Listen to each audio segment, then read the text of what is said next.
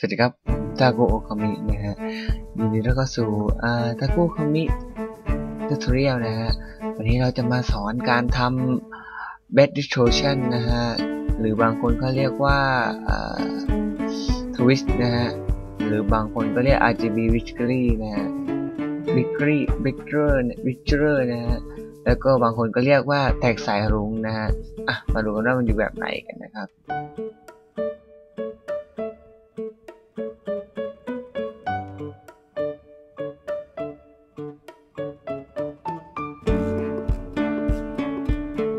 นี่คือ text text สายรุ้งที่เขาพูดถึงนะ ผมก็ไม่เข้าใจว่าทำไมเรียกแท็กสายรุ้งนะ อาจจะเพราะว่าแบบมันสั่นแล้วก็มีเหมือนแสงอะไรอย่างนี้นะ ซึ่งจะเห็นได้ว่า RGB Wiggler เนี่ย อันนี้คือแบบไม่ต้องใช้ปลั๊กอินนะ เอ้ยแบบใช้แหละแต่ว่า คือ ปลั๊กอินที่ไม่ต้องโหลดมันนอกเสริมนะฮะ ส่วนนี้คือปลั๊กอินของ Video Copilot นะซึ่งแน่นอนว่าหลายๆคนก็รู้กันนะซึ่งลักษณะการทำงานคล้ายๆกันนะ ซึ่งมันก็ไม่ค่อยแตกต่างกันหรอก แต่ว่าวันนี้ผมจะมาสอนทำแบบไม่ต้องใช้ Twitch นะฮะ ก็คือ RGB Wiggler นะฮะ Wiggler นะฮะ ซึ่งวิธีการทำนั้นค่อนข้างง่ายนะฮะ โอเคจะเห็นว่ามันค่อนข้าคล้ายกับเป็นสีเขียวผิวข้างบนวะน่ะ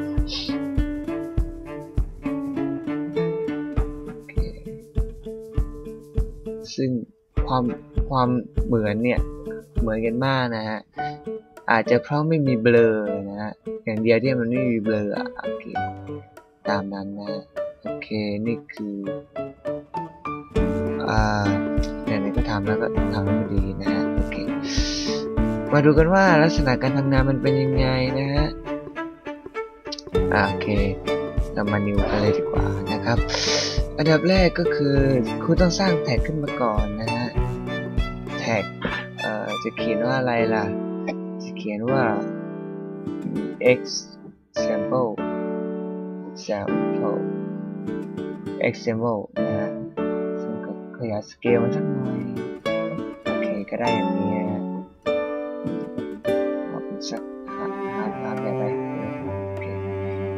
ประมาณนี้นะต่อไปที่เราต้องทำคือ duplicate มันนะคือ copy มันนะ จะ control C วาง control C วางก็ได้ หรือคุณจะ control control แล้วก็ D อย่างเดียวก็ได้นะฮะ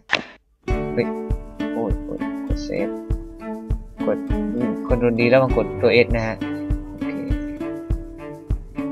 เราต้องทำการสร้างขึ้นมาใหม่อีก3 layer นะฮะก็ก็กลายเป็น4 layer ตรงนี้นะฮะโอเค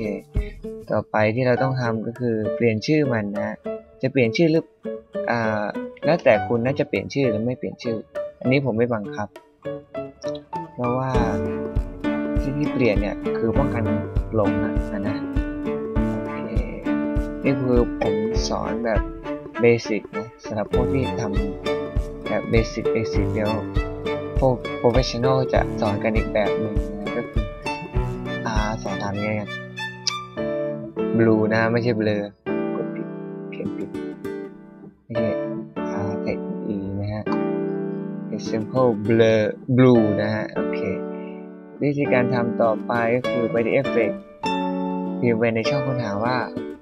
R G B นะฮะนี่คือปลั๊กอินตัวเดียวที่เราต้องใช้นะฮะ โอเค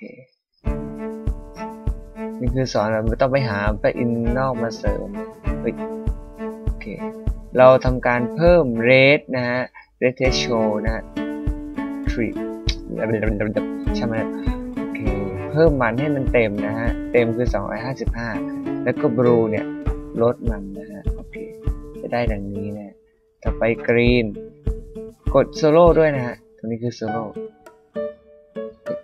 ลากปลั๊กอินมาใส่จากนั้น green ต่ำสุด แล้วก็ red สูง blue สูงนะฮะ จะได้สีเขียวมาทำการ solo ตรงนี้ก็เอา solo ตรงนี้ออกนะแล้วก็เอา red มาใส่ red red ต่ำสุด green สูง green สูงสุด แล้วก็ blue สูงสุดก็จะได้อย่างนี้นะสำหรับปลั๊กอินตัวอื่นนี่ผมไม่แน่ใจว่ามันบางปลั๊กอินบางปลั๊กอินมันก็เปลี่ยนสีได้นะแต่ปลั๊กอินนี้มันชัวร์กว่านะฮะโอเคโอเคจังเบรนนะก็คืออ่า ของเก่าอะ โอเคจะไปมั่วตรงนี้มันซึ่งเราอยากได้สีเต็มๆเลยนะโอเควิธีการทำต่อไปก็คือ ครอบมันทั้งหมดนะลืม ครอบมันทั้งหมดเนี่ยจากนั้นไปที่ texture switch นะฮะอ่าจากนั้นไปที่โหมด ไปที่ screen ไม่ screen ก็ add มี 2 อย่างให้เลือกนะฮะ ซึ่งมันก็ได้เหมือนกันนะถ้าไรเทนนะ เหมือนกันโอเคแต่ผมแนะนำว่า screen ดีกว่า โอเคก็อย่าไปสนใจผมไปคลิกอะไรมั่วๆ โอเค วิธีการทำต่อไปก็คือ ตอนนี้เราได้text text เป็นสีนะอย่าแปลกใจทำไมมันเป็นสีขาวนะ ตอนนี้คือ ถ้าเราแยกมันออกมานะเราก็จะได้หลายๆสีนะฮะแต่ว่าพอ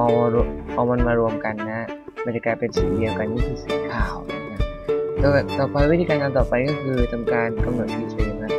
เราต้องทำการกำหนดทั้งหมดเลยนะฮะรับมันทั้งหมดกดตัว P มันนะฮะกดตัว P ไม่กดตัว P ก็ได้อะกดตรงนี้นะฮะโอเคแต่แนะนำว่ากดตัว P ดีกว่าจากนั้นกดตรงนี้ครับ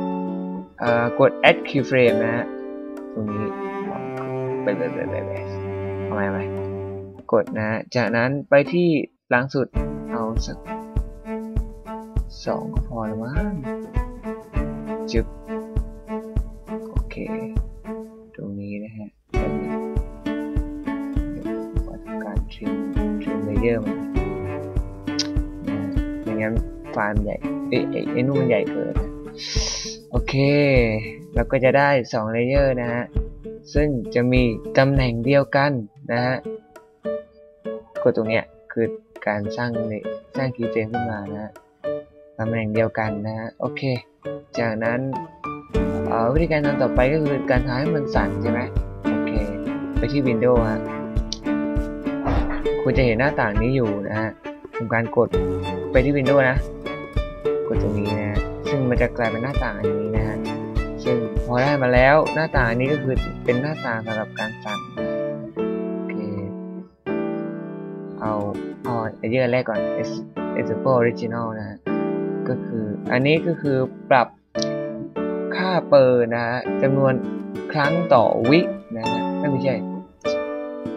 ความถี่อะความถี่ต่อครั้งวิอะไรประมาณเนี้ยส่วนอันหลังคือความแรงในการสั่นนะฮะโอเค ความแรงในการสั่นผมเอาสัก20เกิดมากไปมั้ง15พอละนะฮะ ส่วนอันนี้เป็น 30 ปกตินะฮะโอเคปกติมันจะเป็น 5 แต่ผมปรับ 30 ซึ่งปกติผมแล้วนะโอเคแอพพลายมันนะโอเค แล้วก็ทำแบบทำวิธีการนี้กับอันอื่นเลยนะวิธีการเดียวเนี่ยแหละใช้เวลาการสร้างไม่นานนะ โอเค จะมาลองดูกัน นี่ฮะคือความสามารถของ RGB แล้วก็ Victory นะฮะ Witcher Victory ตลอดเลยนะฮะ ซึ่งก็จะได้ดังนี้นะฮะโอเค ต่อไปสลับของทวิสของวิดีโอคอลไพลอตเราทำแบบง่ายๆนะฮะ ก็คือ เอ่อไปที่วิดแอนิเมชันพรีเซนต์นะฮะแล้วก็กดพรีเซนต์ตรงนี้ทวิสตรงนี้นะ แล้วก็ลากอันเนี้ยมาใส่นะ แค่นี้เสร็จแล้วนะ ซึ่งมันง่ายนะฮะแต่ว่านั่นแหละเราต้องไปหาพร์อินมาเสริมนะครับ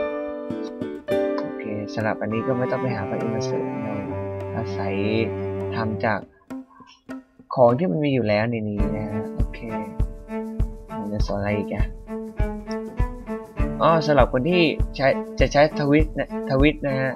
ผมแนะนำนะ โอเค ปกติอ๋อใช่นะ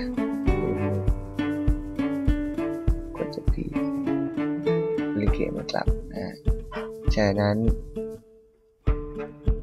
ปกติเวลาคุณสร้างแท็กอะคุณเอา bad distortion มาใส่ใช่ไหมมันจะเป็นอย่างนี้นะมันจะ trim เลมันจะ trim layer แค่นี้คือมันมันมีขอบเขตใช่ป่ะโอเควิธีการแก้ของมันก็คือทำให้มันเป็น